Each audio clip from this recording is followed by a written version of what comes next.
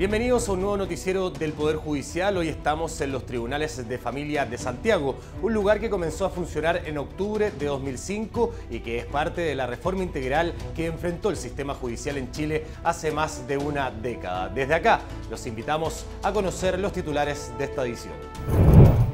Justicia Civil acoge demandas por daño moral en casos de parejas que terminaron vínculo. Ley entrega mecanismos para aquellos hijos que quieren cortar el vínculo legal con sus padres. Una mujer llegó hasta la Corte de Apelaciones de Chillán para demandar a su pareja de más de 20 años y así reparar el daño moral que sufrió luego de la separación. Pese a no estar casados, el Tribunal de Alzada acogió la demanda y ordenó que le pagaran una indemnización. La Corte de Apelaciones de Chillán ratificó el pago de una indemnización a una mujer que demandó por daño moral a su pareja con la que tuvo una relación por más de 20 años, en los que fue víctima de violencia intrafamiliar, una causa que emanó desde los tribunales civiles y no de los de familia. Esta fase o esta vía debe ser distinguida y diferenciada respecto de aquella que permite en efecto la ley de violencia intrafamiliar, pero es para reparar el daño efectivamente causado por, en este caso, por la violencia dentro de la familia. Cuando estamos hablando de indemnización de perjuicio, ya es una materia netamente patrimonial y que escapa del eh, ámbito de los tribunales de familia. No hay ninguna ley que nos otorgue competencia, por lo tanto, aunque tenga que ver con cosas que sucedieron al interior de la familia, lo ven los juzgados civiles. Un aspecto llamativo de este caso es que la pareja no estaba casada, sin embargo, esto no fue un impedimento para que la justicia considerara que el daño moral de la mujer existió y fijó en 5 millones de pesos la compensación.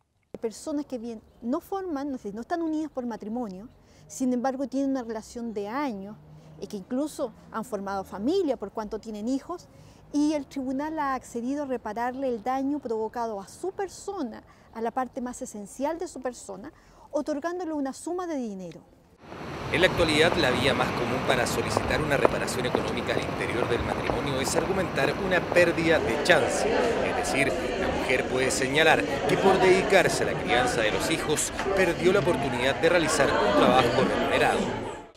Entonces, como ella durante todo ese tiempo no trabajó, y no eh, generó ingresos, por lo tanto, porque trabajar, trabajo, pero no remuneradamente, cuando se termina el matrimonio, el, la persona que trabajó y se enriqueció debe compensarle el menoscabo que sufrió por esa causa. Los daños físicos, patrimoniales y psicológicos provocados por la violencia intrafamiliar son indemnizados por la vía civil, pero también existen otros incumplimientos como la infidelidad. Eso lo ven los juzgados de familia y de acuerdo al procedimiento de divorcio, al ordinario. En, dentro del divorcio se ve la compensación económica y el juez eh, de familia es el que lo fija. Según los expertos, la compensación por daño al interior de la familia es algo reciente, bajo el supuesto que el hogar es donde las mujeres están más vulnerables. Por eso este fallo de la Corte de Apelaciones de Chillán marca un precedente respecto a cómo la justicia ha comenzado a considerar las relaciones familiares, aunque no exista vínculo matrimonial. ¿Es posible en la actualidad que un hijo corte los vínculos legales con su padre? Sí, es posible. La ley contempla distintos mecanismos y trámites para aquellos hijos que quieran renunciar a una relación con un padre que no consideran como tal. Padres e hijos tienen derechos y deberes que cumplir mientras dure el vínculo legal que los une, la filiación. Sin embargo, la legislación contempla mecanismos para que los hijos se renuncien a ciertas obligaciones si sus padres han estado ausentes en su crianza. Por ejemplo, los mayores de edad pueden realizar un acto conocido como repudio. Es una acción efectivamente que está dentro de las acciones de filiación y tiene que ver con que el hijo, una vez que cumple los 18 años y quiere repudiar un reconocimiento que se ha hecho, lo puede hacer alcanzada la mayoría de edad. La ley exige en este caso que si uno repudia una acción en la filiación que tú tienes, debes intentar otra acción al mismo tiempo, que es la acción de reclamación, para evitar que quede sin este vínculo con un padre o con una madre. De esta forma, el repudio es un acto unilateral que provoca que el padre o la madre pierdan derechos sobre el patrimonio de su hijo. A través de escritura pública oficializada, el repudio queda fijado en la inscripción de nacimiento de quien lo solicitó. Pero en las etapas de niñez y adolescencia la ley también entrega opciones para deshacer el vínculo familiar. La emancipación judicial de un niño debe ser solicitada por un tercero que podrá cobrar en su nombre una pensión previsional de orfandad o un bien raíz eventualmente. Para concretarle es necesario probar maltrato, abandono o que uno de los padres esté condenado. Se produce la emancipación del hijo cuando el padre o madre ha sido condenado por delito que merezca pena aflictiva incluso aunque exista indulto sobre la materia, salvo que el juez estime que no sea perjudicial para los intereses del hijo. Son causales que permiten que, en este caso, el hijo u otra persona a su nombre pueda demandar en un tribunal y que sea un tribunal de familia el que se pronuncie respecto a esta emancipación judicial. Si bien los requisitos y causales para formalizar la emancipación y el repudio son completamente diferentes, el solicitante busca los mismos efectos prácticos, deshacer el vínculo con uno de los padres y así evitar el cumplimiento de obligaciones futuras. En marzo de 1973, el cartonero Dagoberto Riveros Campos encontró un paquete con un supuesto pernil en el sector de la estación Mapocho. Estaba ebrio y se lo pasó a su mujer para que lo cocinara, pero resultó ser carne humana. Un caso que se conoció como el descuartizado de Quilicura y que nunca tuvo un culpable, por lo que quedó como el crimen perfecto. La mañana del 18 de marzo de 1973, mientras transitaba por Mapocho, el cartonero Dagoberto Rivero Campos encontró un paquete con un gran trozo de carne. Al llegar a casa le pidió a su mujer María Curilén que lo cocinara e hiciera unos sándwiches para él y sus amigos. Luego de comerlos, notaron que era carne humana y denunciaron el hecho a carabineros.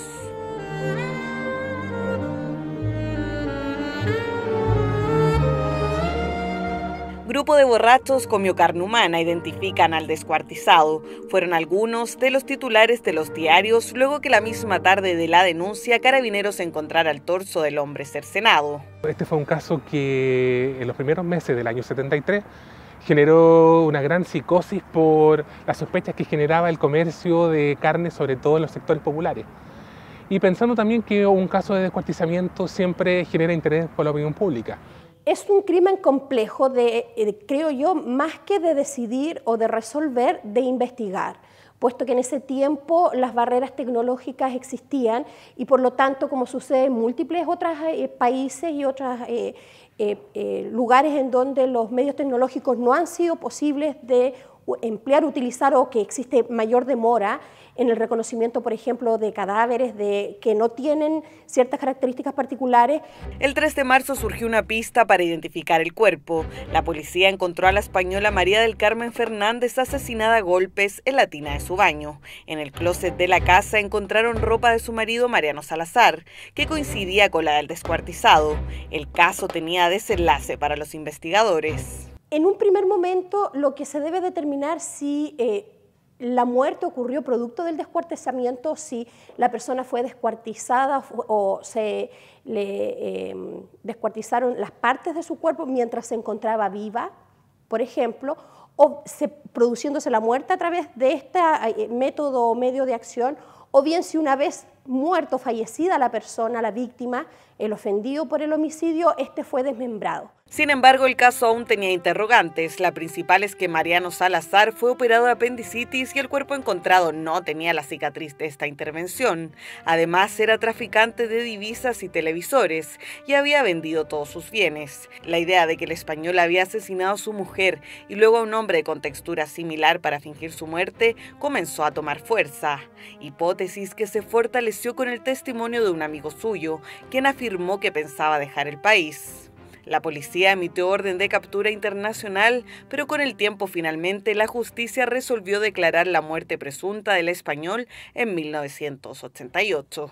En este caso, eh, la legislación ha variado en relación a los términos y plazos, tanto en cuanto se cuentan por, en un primer momento, por las causales que pueden devenir en la declaración de una muerte presunta, como por ejemplo si eh, la persona desapareció producto de un terremoto o de la caída de un avión, etcétera, o si se tienen antecedentes serios respecto de la muerte de una persona en forma particular.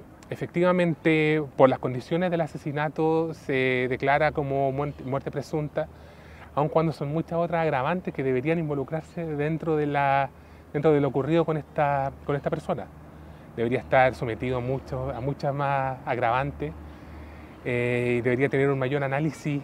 El, el, solo caso de muerte presunta que al final lo único que hace es cosificar el hecho, pero pierde el análisis, el, análisis que todo caso así de trágico y terrible debería involucrar.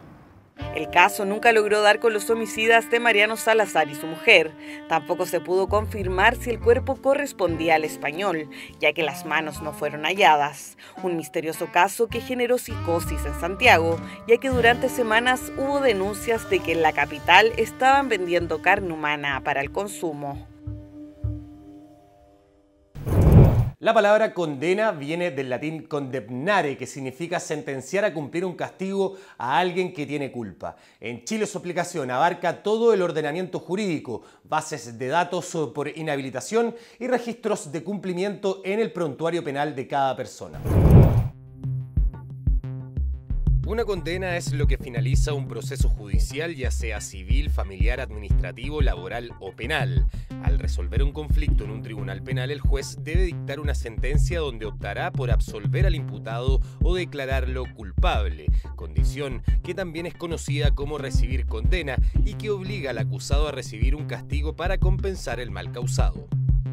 La legislación chilena contempla diferentes tipos de condenas según la naturaleza de la controversia. Por ejemplo, a nivel civil, las sentencias derivan en indemnizaciones. En los tribunales de familia se ordena el abandono del hogar o prohibición de acercamiento y las sanciones en la justicia penal van desde las multas e inhabilidades hasta la privación de libertad. En 2013, la ley 20.603 estableció seis tipos de condenas o penas sustitutivas a las de cárcel que los jueces de garantía y de juicio oral en lo penal pueden incluir en sus sentencias condenatorias. La remisión condicional, reclusión parcial, libertad vigilada, libertad vigilada intensiva, prestar servicios a la comunidad y la expulsión de extranjeros sin residencia legal. Un nuevo montaje teatral realizó la Corte de Apelaciones de San Miguel dedicado a abordar diferentes tipos de discriminación con la que conviven los jóvenes. En la obra se tratan temas como la homofobia, la discriminación a ciudadanos extranjeros, entre otros, tomando como un referente la ley Samudio. Presidente de la Corte Suprema, Hugo Dolmech, recibió la visita protocolar de la directora ejecutiva de la Fundación Teletón, Jimena Casarejos, para renovar el compromiso de los trabajadores del Poder Judicial con la institución de rehabilitación para personas con discapacidad. Bueno, me parece extraordinario que el Poder Judicial pueda apoyar esta obra, porque efectivamente conversábamos con el presidente de que la Teletón efectivamente es, un, es, una obra social importante para el país, está valorada así, es un rito ciudadano eh, que permite que la gente cierto, se congregue en torno a una causa. De esta manera, el 2 y 3 de diciembre los trabajadores del Poder Judicial podrán realizar sus aportes económicos a través del descuento por planilla, una iniciativa que la Fundación ya está aplicando en otras instituciones del Estado para facilitar el apoyo de sus funcionarios homofobia, xenofobia, racismo y actos discriminatorios a personas con discapacidad, diversos temas con los que actualmente conviven los jóvenes y que el plan de difusión jurídica de la Corte de Apelaciones de San Miguel abordó a través del montaje teatral Tú eres el otro yo.